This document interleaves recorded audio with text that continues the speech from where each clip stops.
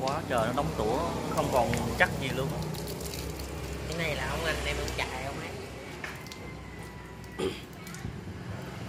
Cái này là cái xúc nữa đó nước nó hôi luôn thấy không? Nghe mùi hôi không? Cái này chắc ông anh em ông thay thay bạ cái này nó thay cái gì vô nè bởi vì nó nóng đang thui lên nè đây nè